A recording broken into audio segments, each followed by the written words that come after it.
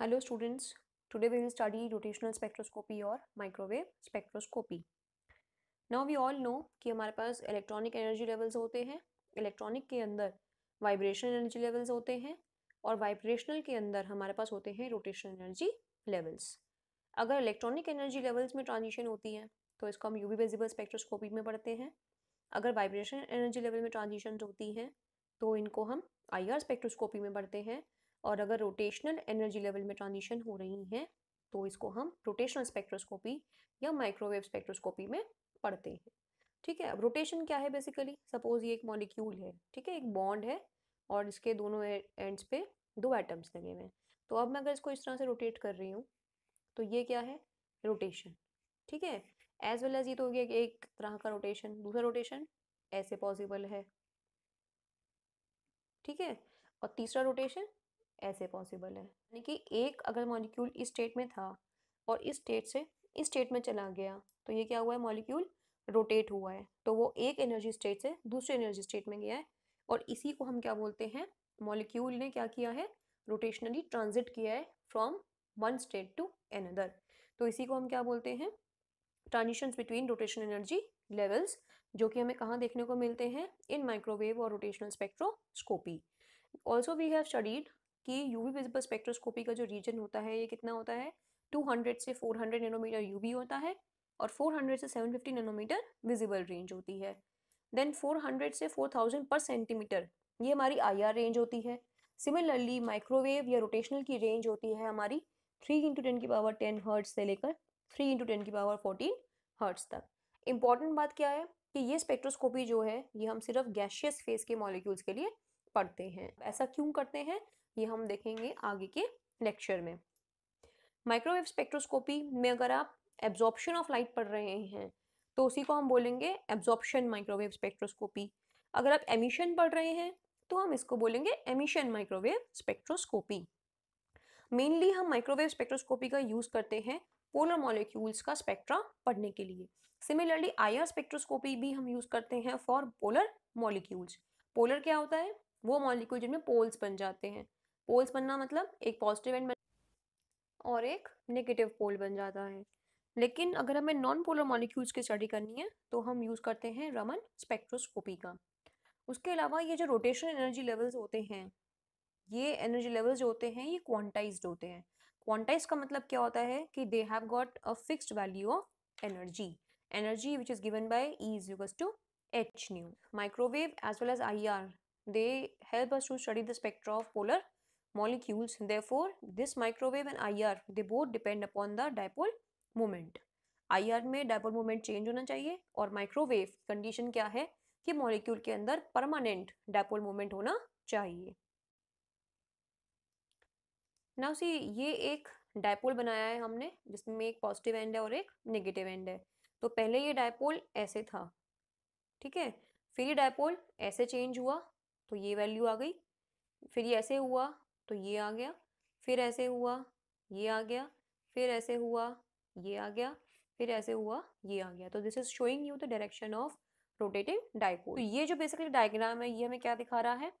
कि अगर हम एक डायपोल को रोटेट करते हैं तो वो एक अपना इलेक्ट्रिक फ़ील्ड जनरेट करता है। तो this is electric field generated by the electric dipole now we all know कि इलेक्ट्रोमैग्नेटिक रेडिएशन जो होती है उसमें एक इलेक्ट्रिक फ़ील्ड कंपोनेंट होता है और एक मैग्नेटिक फ़ील्ड कंपोनेंट होता है and both are perpendicular to each other अब, जब हम इस इलेक्ट्रोमैग्नेटिक रेडिएशन को किसी भी मॉलिक्यूल के साथ इंट्रैक्ट करवाते हैं तो क्या होता है कि जो इसका इलेक्ट्रिक फ़ील्ड कंपोनेंट है, वो इस मॉलिक्यूल के इलेक्ट्रिक फ़ील्ड कंपोनेंट के साथ इंट्रैक्ट करता है।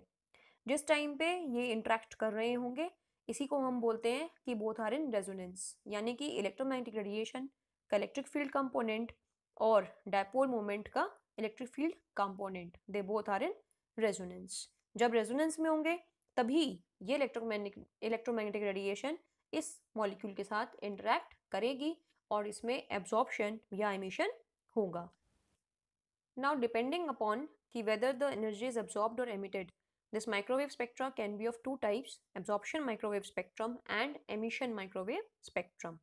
Absorption मतलब कि मॉलिक्यूल एनर्जी एब्जॉर्ब कर रहा है और लोअर रोटेशनल एनर्जी लेवल से हाई एनर्जी लेवल में जा रहा है। एमिशन मतलब कि molecule high rotational energy level में है और वापस लोअर एनर्जी लेवल स्टेट में आ रहा है। Now criteria for microwave active molecules सबसे इंपॉर्टेंट पहला क्राइटेरिया क्या है? कि मॉलिक्यूल के अंदर परमानेंट डायपोल मूवमेंट होना चाहिए। अगर परमानेंट डायपोल मूवमेंट होगा, तभी वो रोटेट होने पर अपना इलेक्ट्रिक फ़ील्ड जनरेट करेगा। Which will interact with the electric field component of microwave radiation दूसरा क्या है कि मैंने जैसे पहले भी बताया था फ़र्स्ट पेज में जब हम दे, कि ये जो माइक्रोवेव स्पेक्ट्रोस्कोपी है, ये हम सिर्फ़ गैशियस फ़ेज़ में ऑब्ज़र्व करते हैं। ऐसा क्यों? क्योंकि सॉलिड और लिक्विड फ़ेज़ में क्या होता है? कॉम्पैक्ट पैकिंग होती है टाइट पैकिंग होती है।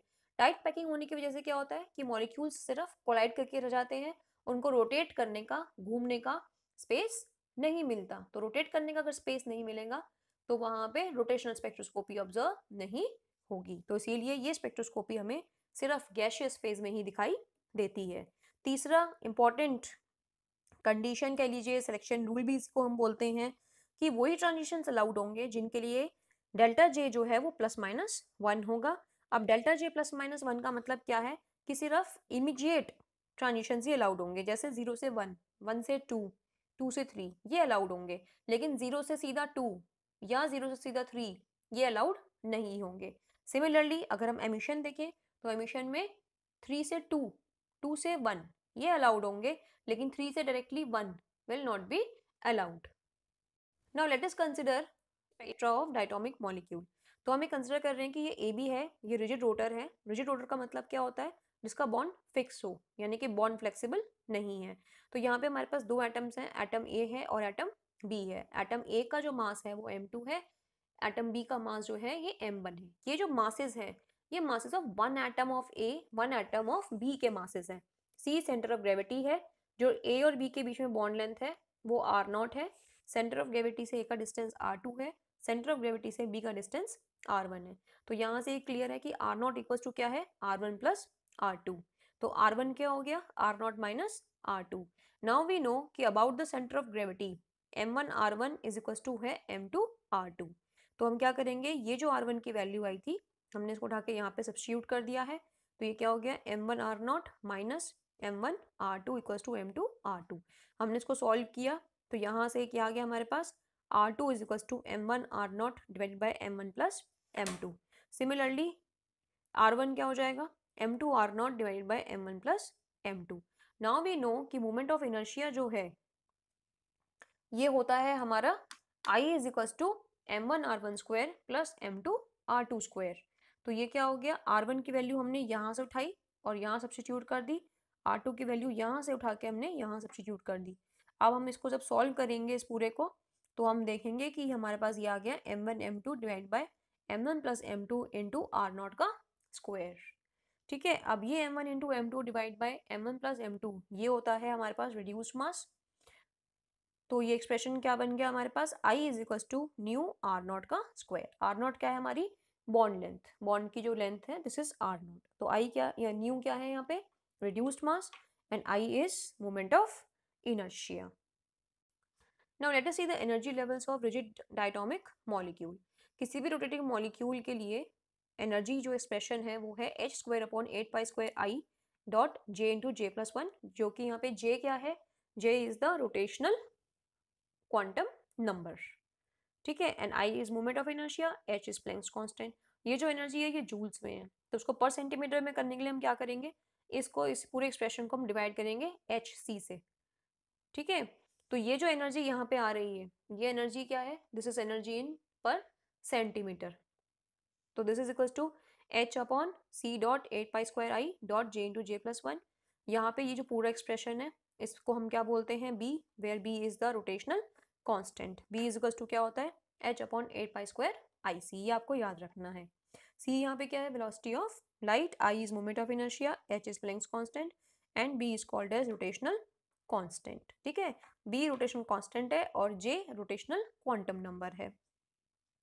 अब इस एक्सप्रेशन में जब आप जे की वैल्यूज़ चेंज करोगे zero one two three four डालोगे तो कॉरस्पॉन्डिंग एनर्जी की वैल्यू है वो आ जाएगी zero two B six B twelve B twenty B तो ये जो है ये एनर्जी लेवल्स की एनर्जी है, ठीक है?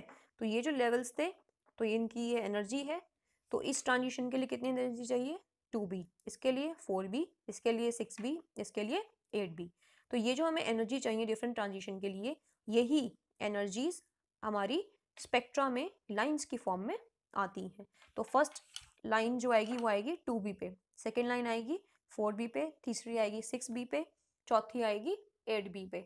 तो ये चीज़ हमें बिल्कुल ध्यान में रखनी है कि लाइन्स हमारी कितनी वैल्यूज़ पे आ रही हैं, क्योंकि हम इस पर न्यूमेरिकल्स करेंगे तो हमारे पास क्वेश्चन आ जाता है कई बारी कि the first line appears at zero point three four five per centimetre तो आपको पता होना चाहिए कि जो फ़र्स्ट लाइन है वो टू बी पे आती है। ठीक है? सेकेंड लाइन फोर बी पे आती है। दूसरी चीज़, अगर आप देखोगे, दो लाइन के बीच का डिस्टेंस हमेशा सेम है विच इज़ टू बी। यहाँ भी टू बी है, यहाँ भी टू बी है, यहाँ भी टू बी है। इसको हम बोलते हैं स्पेस बिटवीन लाइन्स या इंटर स्पेसिंग भी बोल सकते हैं। ये भी आपको ध्यान रखना है कि ये स्पेसिंग बिटवीन टू लाइन्स हमेशा कांस्टेंट रहती है कांस्टेंट रहती है। Determination of bond length of diatomic molecule अभी हमने पढ़ा था कि I is to mu r square भी होता है। I is to H upon eight pi square B C भी होता है। तो इन दोनों को अगर इक्वेट कर दें तो यहाँ से आर इक्वल्स टू क्या आ गया? Under the root of H upon eight pi square B C dot mu तो using this relation we can calculate the bond length of diatomic molecule rules section rules क्या हैं? यही rules decide करेंगे कि rotational spectroscopy observe होगी या नहीं होगी। तो पहला क्या है कि ओनली दो transition will be allowed for which delta J is equals to plus minus one, ये हम डिस्कस कर चुके हैं। और दूसरा क्या है कि मॉलिक्यूल के अंदर परमानेंट डायपोल मूवमेंट होना चाहिए। ये एग्ज़ाम में बहुत बार पूछा जाता है कि what are microwave active molecules what are microwave inactive molecules पाँच एग्जाम्पल्स दे देंगे और पूछेंगे। इनफैक्ट सारे एंट्रेंसेज में most of the entrance exams B S C M S C के एंट्रेंसेज हो नेट के एग्ज़ाम्स हो, बहुत बार ये क्वेश्चन आता है उसमें भी। कि आपको मॉलिक्यूल्स दे देंगे और पूछेंगे कि which of the following is microwave active and which one is microwave inactive तो ये हम कैसे पता लगाते हैं? माइक्रोवेव इनएक्टिव के लिए क्या कंडीशंस हैं? डायपोल मोमेंट नहीं होगा। दूसरा होमोन्यूक्लियर डायटोमिक मॉलिक्यूल्स जो स्टेक के मॉलिक्यूल्स हैं, इनमें नेट डायपोल मोमेंट ज़ीरो होता है तो इसीलिए ये माइक्रोवेव इनएक्टिव होते हैं।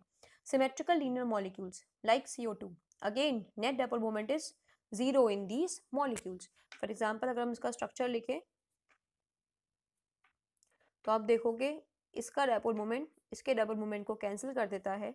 So net double moment is zero चौथा टाइप का मॉलिक्यूल क्या है? Molecules having centre of inversion centre of inversion का क्या मतलब है? कि जैसे सपोज़ ये एक पॉइंट है sulphur is the centre of inversion उसका मतलब क्या है? कि अगर इससे दो डायगनली डायगनली अपोजिट एटम्स बिल्कुल सेम डिस्टेंस पे अगर प्रेजेंट है मतलब same type of atoms opposite side में अगर प्रेजेंट है at the same distance from the centre then the molecule is suppose to have centre of inversion ठीक है? जैसे कि यहाँ पे, जैसे सल्फ़र है तो अगर मैं इस फ्लोरिन और इस फ्लोरिन को देखूँ सेम एटम्स हैं अपोजिट साइड्स में हैं और सेम डिस्टेंस पे हैं। सिमिलरली ये दो फ्लोरिन्स हैं, ऐसे ही ये दो फ्लोरिन्स हैं। ठीक है? ये सेंटर जो है हमारा, यानी कि सल्फ़र इससे बिल्कुल डायगनली अपोजिट प्रेजेंट है सेम डिस्टेंस पे हैं और एटम भी सेम टाइप के हैं। तो इसीलिए ये जो मॉलिक्यूल है, इसमें क्या प्रेजेंट है? सेंटर ऑफ़ इन्वर्जन सिमिलरली इस मॉलिक्यूल को देखिए, अगर मैं यहाँ पे पॉइंट लूँ, इस पॉइंट पे, यहाँ पे, यहाँ मैं अगर पॉइंट रखूँ तो डायगनली अपोजिट क्या है? ये दोनों सेम एटम्स हैं सेम डिस्टेंस पे हैं, ये दोनों सेम एटम्स हैं और सेम डिस्टेंस पे प्रेजेंट हैं। तो ये मॉलिक्यूल में अगेन क्या प्रेजेंट है? सेंटर ऑफ़ इन्वर्जन तो जिन मॉलिक्यूल्स में सेंटर ऑफ़ इन्वर्जन प्रेजेंट होता है जैसे कि C two H four S F four इनमें डायपोल मोमेंट भी ज़ीरो है और इसीलिए ये मॉलिक्यूल्स माइक्रोवेव इनएक्टिव होते हैं। Whereas more nuclear molecules like H C L C O N O also are microwave active molecules whereas unsymmetrical linear molecules जैसे मैंने आपको ये दिखाया था ये सिमेट्रिकल लीनियर है। लेकिन अनसिमेट्रिकल लीनियर अगर है, जैसे O double bond C double bond S इस टाइप के मॉलिक्यूल्स क्या होंगे? Microwave active application of rotational spectroscopy पहला तो यही है जो भी हमने पढ़ा है पीछे डिटर्मिनेशन ऑफ़ बॉन्ड लेंथ तो इस रिलेशन को हम यूज़ करके बॉन्ड लेंथ निकाल सकते हैं। दूसरा क्या है? Determination of symmetry determination of symmetry कैसे? क्योंकि अगर मॉलिक्यूल है तो वो, अगर मॉलिक्यूल सिमेट्रिक है तो वो माइक्रोवेव इनएक्टिव होगा। तो इसलिए हम पता लगा सकते हैं कि मॉलिक्यूल में सिमेट्री प्रेजेंट है या नहीं है। तीसरा, हम रिड्यूस मास निकाल सकते हैं। Again using this expression only mu is reduce mass तो इसको भी हम निकाल सकते हैं।